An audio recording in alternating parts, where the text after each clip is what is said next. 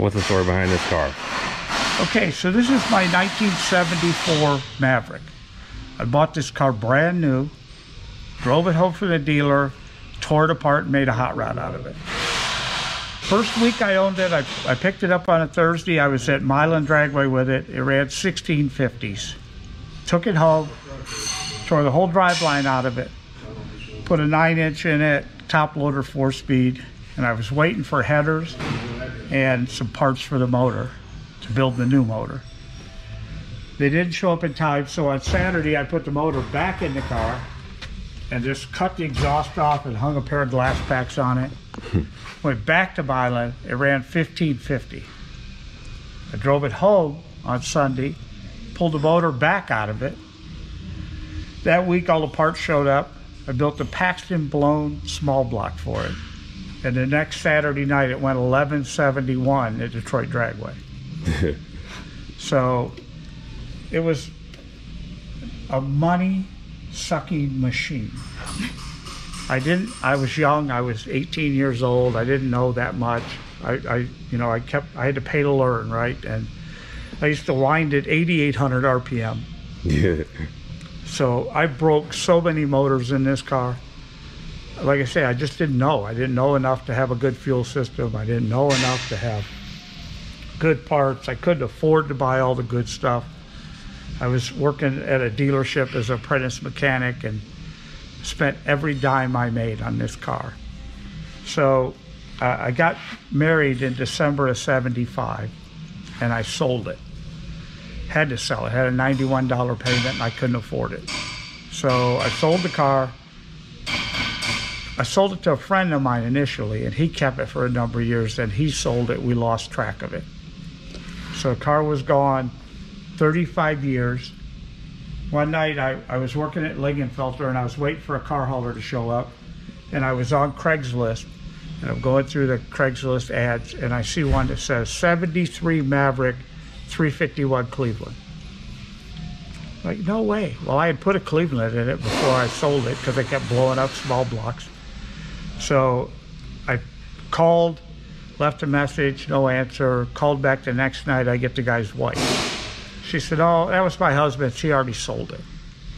Like, oh man, well, I was the original owner, blah, blah, blah. So we have a bunch of conversation. So right? you knew I knew it the was ad my that it car. was your car. Yeah, from this little picture, right? How did you know it was yours? because it, it you know the color the, the 351 cleveland the top loader four speed i had put a mr gasket vertical gate shifter in it so it just goes straight forward and back i mean I, it was my car I, you know it still had the same rear tires on it i had put on it new in 74 when i bought it And what oh year did you find it on Craigslist? 2011 Wow.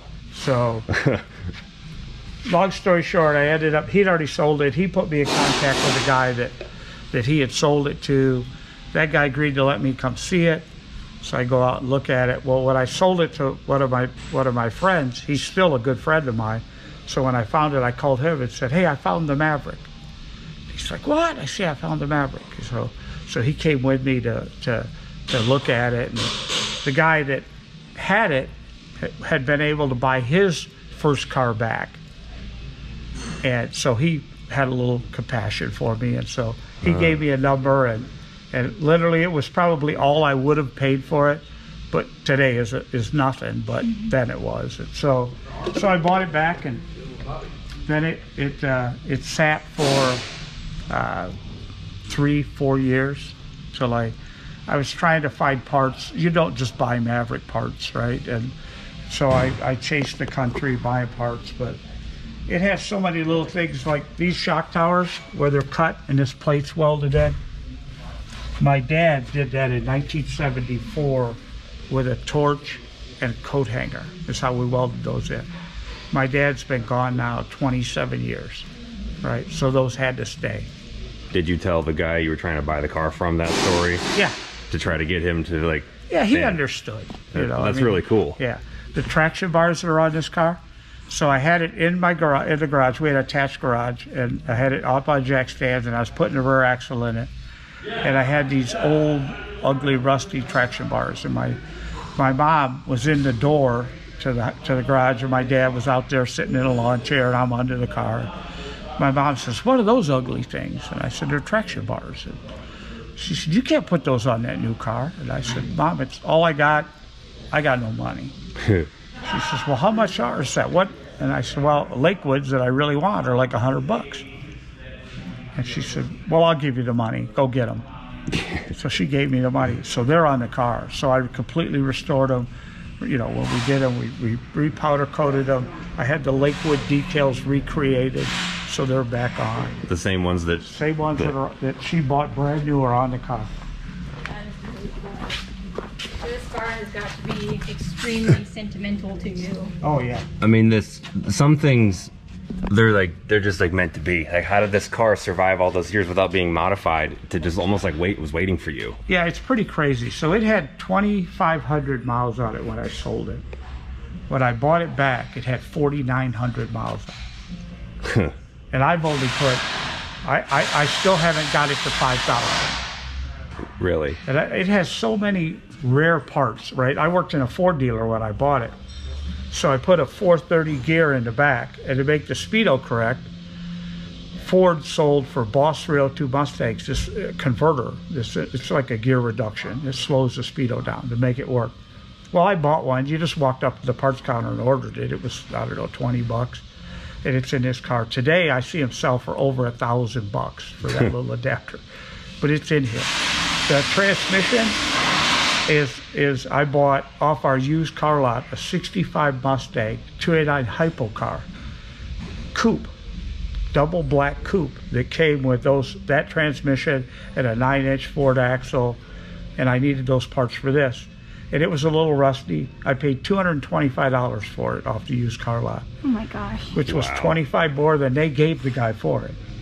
And uh, so those parts are still in this. It has that VIN tagged K code hypo transmission in it. I have I changed to a Moser 9 inch when I redid it, but I have that real one in the room, in the storeroom. Wow. So, I mean, this car has so many. I I, I used to street race it a lot, and uh, my parents. It was in the garage. I had blown up a motor. We built a new motor for it. Got it in, got it running, and it was sitting in the garage. And uh, my parents went out on a Saturday night, so they had parked. My mom had parked her car against the garage door, so I couldn't open it to get the car out. Right? because she knew I was a street racer. And so I snuck into the uh, uh, under her car and unhooked the shift linkage and put it in neutral, and rolled it down to the street, and then put it back in park and got the door open and got the car out. and Went out street racing. Yeah. So they, they come home and I'm gone in the car and, and her car's at the street. But uh, I got caught drag racing in this car one time, got a ticket, and, and right bef- a little while before I got married, and I couldn't buy car insurance for two years. In 1975, they wanted $2,700 a year for car insurance because I had a drag racing ticket. Wow. So I put the car in my dad's name, and he insured it, and then that, I drove it. But Man. Did it? Did you do the cowl hood back then, or is that an upgrade for now? That's an upgrade. It had a flat hood on it. And I, I have a tunnel ram, like two 660 center squirters. I have, this is kind of the drag race trim. Normally it's more retro. I have, a, like I say, the tunnel ram. I have a original, they made a cable, everybody used cable drive tacks in race cars then. So you ran a big cable off the distributor inside the car. I have all of that for this. I have the distributor, the tack, the cable. I have three sets of wheels and tires for this car. So I wanted Cragars. I had Ansens on it originally. I wanted Cragars, but they were on back order. So Jack McCormick is kind of a famous guy. He ran a place called Wheel City. I worked for a guy named Dave Lyle, and we built a Pinto Pro Stock car in his gas station. So Jack McCormick says, Cragar just came out with these new super tricks. They're really not supposed to be driven on the street, but you can. You want a set of those? So I bought those and had them on the front and had Cragar's on the rear. And that was kind of a look in the early 70s. So this was one of the first cars ever with super tricks on the street. So today I have the Cragars, I have a complete set of super tricks, and I have a complete set of uh, motor wheel flies, which was the pro stock wheel of the day. The fronts are magnesium, the rears are aluminum. So I have three complete sets of wheels and tires for it. Did you do anything to it that you couldn't afford to do back then but could now? All kind of it. like, I mean, like complete your vision basically. Yeah, well, this, you know, I, when I, the small blocks were poor boy built, right? I had a 302, blew that up, 289, blew that up. Uh, then I put a Cleveland in it, a bone stock Cleveland. And uh, that was how I got 2,500 miles because I would drive it to the racetrack and drive it around. This is a 408 inch Cleveland. This is, you know, strobe. It's got a scat rotating assembly in it. It's got TFS aluminum heads, but I painted them blue so they look stock Uh, Fooled me. That intake. Like I said, I got a tunnel ram with a pair of 660s. Those valve covers are original Boss 351 covers that a friend of mine had laying in the roof rafters of his garage. And when I bought this, he said, I got a valve cover for you. And those were them. But I put a vertical gate shifter in it way back when. That's still in it. Stewart Warner gauges or what was in it. We made the roll cage the interior is all original. So this was a bench seat car, and we put buckets in it out of a Cougar, and we had a trim shop at the dealer I worked at, so we reupholstered them to match the rear seat, which is what the upholstery was. And This is the same upholstery from then. It's it's not the same, but it, it's new old stock. I scoured the country and found the original material still brand new on the bolt and bought the bolt of material to do these seats. Wow. The headliner's the same way. It's original 1974 material. And you wouldn't think that stuff is still out there. It is. Like I say, it took me three years to find parts. The Maverick script on the on the, the C pillar, I took those out of the boxes where they have been since 1970 and put them on this car. They're brand new NOS perfect. So being in Michigan, was this car garage kept, or yeah, did you have its to? whole life. Okay, that's awesome. Yeah, no, it's, seek it's all original metal. Uh, it had a little, the paint had flaked off the cowl and had a little rust in one door. So when I sold it to a friend of mine, after I couldn't have, you know, couldn't afford it, he moved to Florida, and he was towing it. He went to Florida for like a year, was moving back, was flat towing it on a tow bar, and lost control on the expressway, and took both quarter paddles off of it hit things and smashed both quarters. so he had to fix all of that, but other, you know, other than that, the rest of it's all original. It looks awesome. It's not very often you see Mavericks. No, there aren't many around. It's filthy now. Sorry, it's been sitting around, but Well, work gets done in here. yeah, this is a shop. this is my hoist. This is kind of for my projects. The rest of it, you know, we have 12 other hoists. Those are for, you know, builds and everything else. But this is kind of my spot. I was trying to see if it was a four-point cage or if did you do that for Six. dr- drag Yeah. racing? Yeah, Or? yeah, we made that when we redid the car. It'll run high nines the way it is, which technically needs a full cage, but you can just slow down a couple tenths and you'll With how much horsepower? 650. Yeah. So you don't need very much power to make a car Is like this these move. like 2,200 pounds? or- It's about uh, it's about 2600. Okay. But I have a Dart Dodge Dart It's got 1700 horsepower. I have a GMC Canyon with 2100. I have a Jeep Wrangler with a thousand. I have A Wrangler. Yeah, we have a place over on the sand dunes that we play with it. So. I have a go fast addiction. Which one is brings you the most joy to drive? Um, you know, I just I love them all. It it you know I don't have a favorite car. I mean, like I drove my I have a Dodge Rampage with a mid-engine Hemi in it, and I drove it on Power Tour this year and, and did the long haul in it, and I truly truly enjoyed that. Right, but my wife has a 72 Chevelle with all aluminum big block Chevy in it, a six-speed. It's a pro touring car, and and I like driving that. Right, I've driven that on Power Tour two or three times. We got 11 Camaro convertible with a blow blown LS in it. Same deal, right? Every one of them hits a certain point. I, I build them the way I want them. I, I fortunately can afford to do it, and I have the skill to do it. I have great people that work for me, so that, the reality is they get to do a bunch of it. But you know, you can't really tell. But like every piece of stainless has been polished. Oh yeah, Oh, you wow. can definitely tell. Now you can wipe the dust off. With the dust on it, it looks normal. Yeah, but every, I mean, that's the way we do every car I build. Every piece is, is done, right? I have a 64 Falcon with a Gen 3 Coyote in it on hydrogen. And um, it's, every piece of trim on it is original, but it's got the side molding. It's just, everything has been stripped, polished. Even the grill has been full hand polished. The details are important. Yeah. Makes a difference. Yeah, you can ask anybody that works for me. I'm not the easiest guy to get along with when we're doing this. because I have an expectation, and, Yeah. and it has to be here.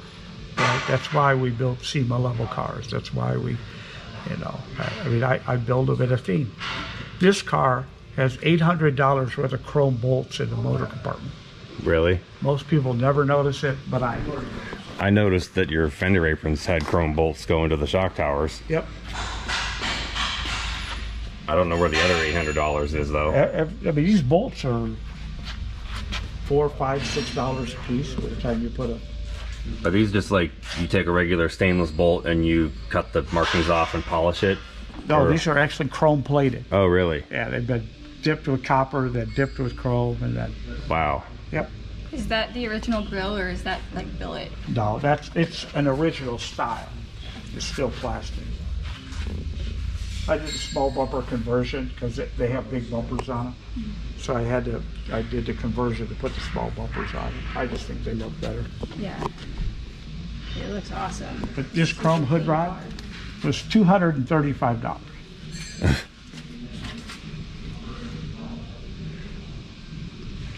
It's funny how small the world is. I had no idea. So you, you said you remember me from dragging my broken ass off the road at Roadkill Nights when I broke the transmission in the Escalade, and Yep. I don't even. I remember getting dragged off, but I don't remember who did it. So I'm sure you were like so flustered. I was, yeah, I was mad. I was like, I just fixed this thing a week ago, and Yep. now I have to figure out how to get it back in here. But It that's was all my golf cart would do. First, I didn't think I was going to be able to do it. My golf cart's turned up. It runs like 27 miles an hour. so, yep. No, that's the game, right? So, because that's why you got to be nice to everybody too, because you never know. Like Yeah. that, that guy with a golf cart might know a thing or two, Mike, you know, he's old. or build a truck that runs on hydrogen. Yeah, well, I, so I've done roadkill since the inception. Huh. So they, I, the first year I built General Mayhem, and I built General Maintenance. So those that, that Mayhem was the first ever Hellcat swap in the world. Did that for Freiburger, and we raced Gas Monkey Garage that year at the Silver Dome, and then the next year it moved to the M1 Concourse, and uh, this is the, well, this would be the seventh event, eighth year. But uh, ever since I've run all the tech, all the staging, all of all that for it. So Huh. I put a, I have a team of guys that work with me and gals, and so they all we handle all of that from the time your registration is approved until you pull on the starting line. It's my responsibility. Okay. Uh, I'll be in full transparency. I was mad that I got put in big tire because I had 17 inch wheels. It's okay. I was like, how does this make sense? I, I, every year uh, at Roadkill, I get people that, that complain at me and bitch at me. My favorite is the guy that told me two years ago we were there and I wouldn't let him race because he didn't have DOT approved front tires. Uh, well, the, people don't understand, but the Department of Transportation is there. And if they catch us allowing one to run with non-DOT tires, they shut them down. They shut the race down, not them. Wow. So anyway, this guy got in my face kind of, and, and, and you know I deal with that all the time. So it's just like, right. So guy's in my face, and his the favorite line ever was when he told me, "If you were a racer, you would understand this." Yeah. He wants to ruin everybody else's season for us. Yeah. I remember the way that the way that was when I had to load up and then pull back around. I was stuck with my truck and gooseneck trailer like kind of behind the the staging lane, Yeah. and it was kind of waiting there to get out because I couldn't back up the giant trailer down the street. And where I was was where the railroad crossing thing was, and it came down and thumped the roof of my oh, truck no. but it like because the I think Freiburger Super B was next to my truck, so like the it hitting the roof of my truck gave Dulcich enough time to look at it like oh man, and he like lifted it off while I backed up, but it had like this dangly thingy that came down. Yeah. So like I don't know if my truck wasn't saved his there, I may have saved his car. and I'm like every time I go under one of those things, it's like cross that off my bucket list. I have been hit by one of those. There you go.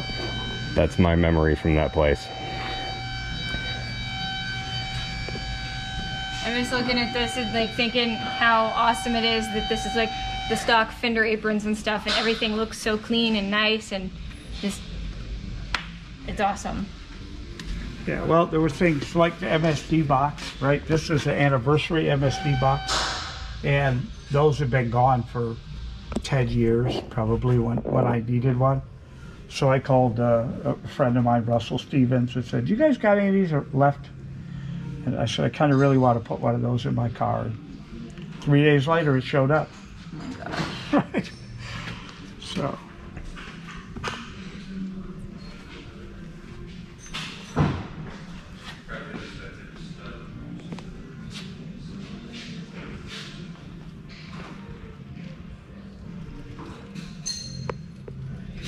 Thank you for talking to us about this. I'm happy to do it. It's really cool to me. It's nice to meet a, a young lady who likes a Maverick.